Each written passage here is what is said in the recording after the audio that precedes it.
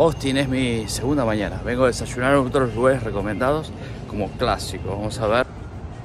Fancy and Stable. Breakfast, ok.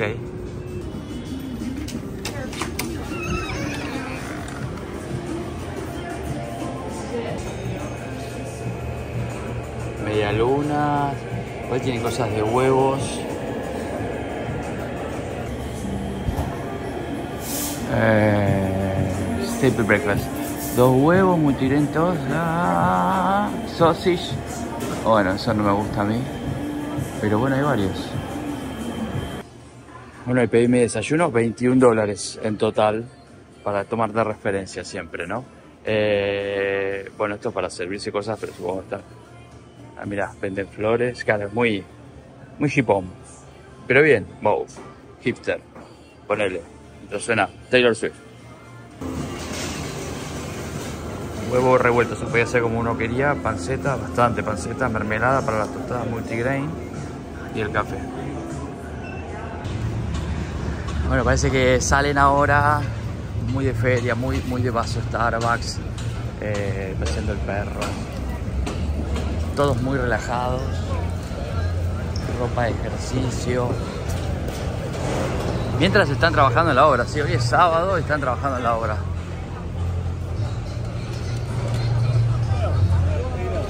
Hay de todo.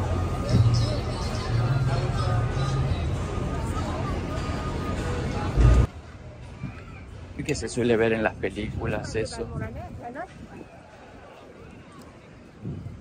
Wood Vives. Ropa jipona. Masajes, allá hay una, una, una carpa de masajes mercados agrícolas los sábados. Sustentable. Capaz que es. Bueno, sí. Ah, debe ser esto.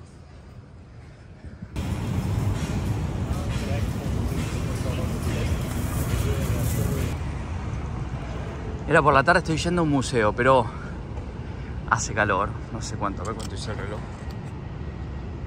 Ah, ok, dice 35. Eh, no hay nadie en la calle pero hace calor. Pero es sábado, ¿no? Lo que dije en el video que grabé ayer sobre que es una ciudad muy universitaria, entonces por ahí en esta época no hay gente y bueno, un sábado menos. Justo viene un museo que es en la guía que me armaron, que está en la línea del Capitolio. O sea, el hotel viene caminando desde allá, ¿eh? O sea, tengo para usar Uber, todo eso. Pero dije, vamos a caminar. Igual hay 35 grados, estoy muriendo de calor. Pero lo que estaba bueno que decía que después, desde las dos y media creo, hay banda en vivo. Porque eso es lo que tiene Austin, todo el tiempo hay música en vivo. Y acá justo están ensayando. Este es el Museo Blanton Museum of Art. primero entré me mareé, acá no creo que se vea en el video, pero que son todos hilitos que forman este arco iris mezclado, o sea, está como cruzado. Entonces, como no es tan definido, cuesta verlo. Y así te digo que si lo seguís viendo mientras subo las escaleras, marea más, pero impresionante. No fotos permitidas con flash, ¿sí? O sea, eh, y no selfie sticks, buenísimo. Las mochilas, bueno, tuve que dejar la mochila sin comida y demás. Bueno, qué luz que tiene este lugar. Mientras se escucha la música afuera que siguen practicando, pero todo un trabajo. Acá hay un museo, o sea, hay todo un espacio de arte latinoamericano. Un detalle, ya van varios minutos voy recorriendo, que igual, o sea, siempre las obras es que hay que verlas, pero primero, está todo en los dos idiomas. Y segundo, lo que están eh, hablando es sobre el origen de los artistas, los artistas en general por ejemplo, en aquella, aquella sector hablaban de alguien que, ¿cómo inició? Porque claro, que es algo que seas hijo de un millonario, no vas a poder mantenerte de un buen poder adquisitivo. Entonces hablan de que todos trabajaron como camareros, lavaplatos, pintores de casa y que hay uno que trabajó en Ikea, ocupándose de la de la configuración de, de, los, de las muestras de Ikea y que su obra tiene todavía muchas cosas de ese trabajo que hacía en Ikea. En todo este espacio hay eh, obras de Latinoamérica. Hay muchas obras argentinas, voy a mostrar alguna. Pero um, creo que esto es brasilero.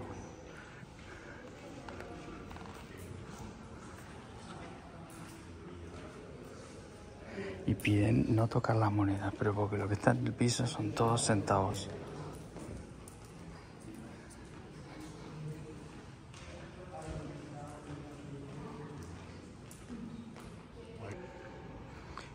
Por ejemplo, estas tres obras son argentinas.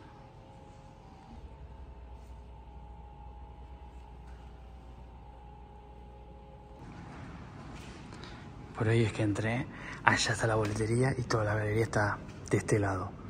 Pero el edificio ya en sí es, es grosso. Ahí se ve, nuevamente se ve, como la Torre Eiffel, el Capitolio se ve de todos lados.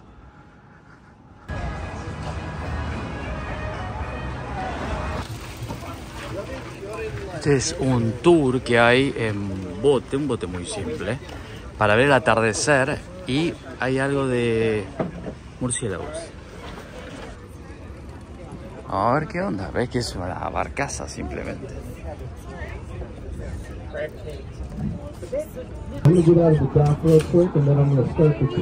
I'm. My name. Lo curioso es que ahora me di cuenta, y lo, dijeron, el barco es eléctrico, o sea, este bote es eléctrico. Todo se, se desplaza suavemente. Es un paseo por el atardecer para ver el skyline de Austin y en la teoría en no sé en dónde ir a ver los murciélagos.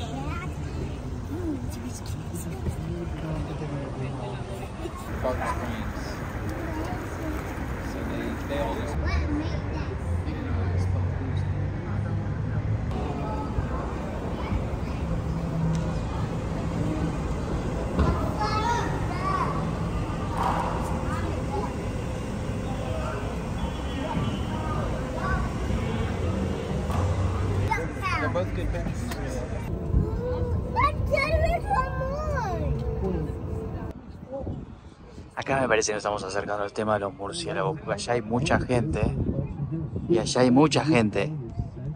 Entonces están todos esperando la salida. Están todos esperando.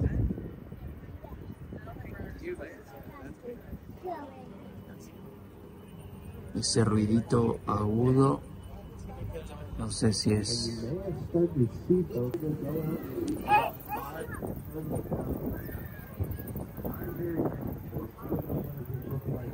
And if you kind of look on the arches on the side, it's very beautiful. So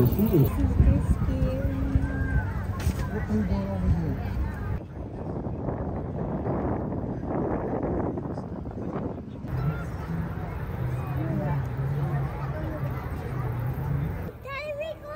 No sé si se llega a ver con el video, pero ya hay varios que están dando vueltas.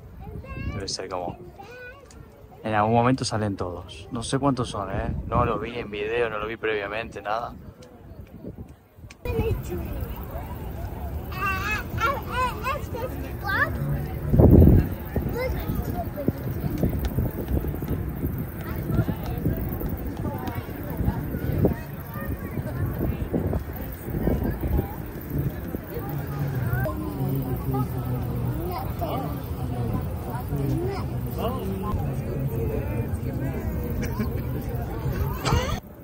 Ahora lo que están haciendo es salir y van al del lado. O sea, no, no salen del puente. Entiendo que eso es lo que hacen, ¿no? Salen después todos desde ahí abajo y se van. Ahí va, ahí va, ahí va, ahí va, ahí va, ahí va, ahí va, ahí va. Ahí va.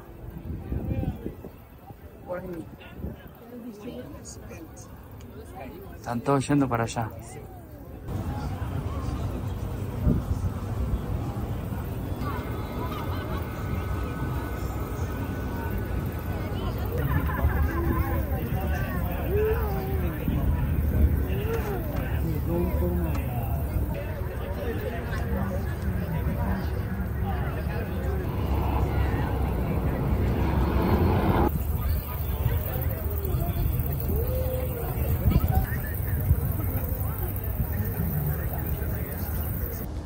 Bueno, al final tranca. Yo esperaba que salieran volando todos, pero no, ese es el hecho de verlos suavemente. Lo que pasa es que yo en el norte de Australia, época que no grababa videos, estuve con mi esposa en una ciudad y salían todos juntos y era una cosa increíble, o sea, era, era Batman en sus pesadillas, ¿no? De chiquito.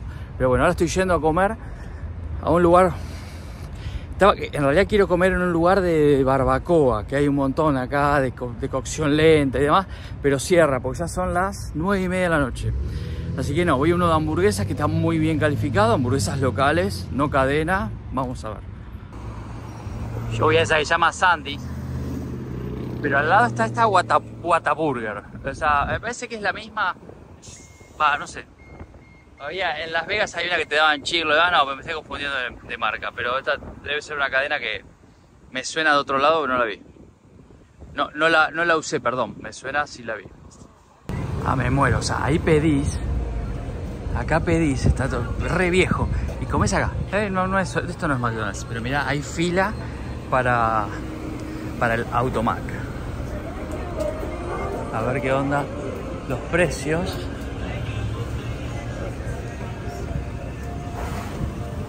Old Fashion Burger.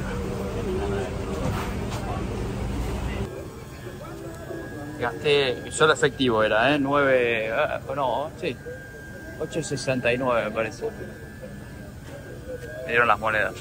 Y un sundae salvaje. No veo dónde hacen las hamburguesas, porque están con los helados acá.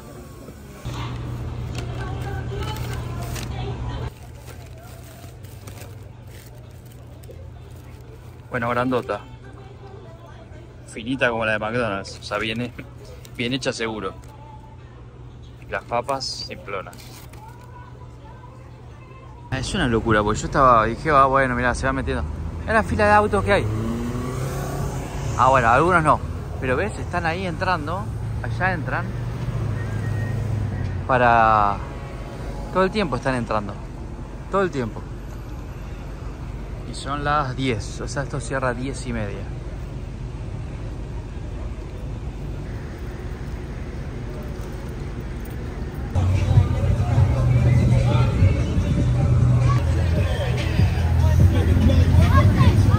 Dos cosas me preguntaron de Austin varias veces.